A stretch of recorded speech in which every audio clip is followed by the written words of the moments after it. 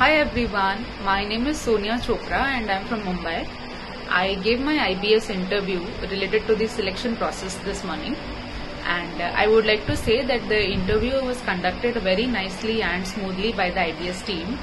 Uh, I faced a technical glitch during the call but the panelists were very supportive and very helpful to get me through the interview and I would really like to thank and appreciate IBS team for their efforts and I really wish to be a part of IBS. Thank you.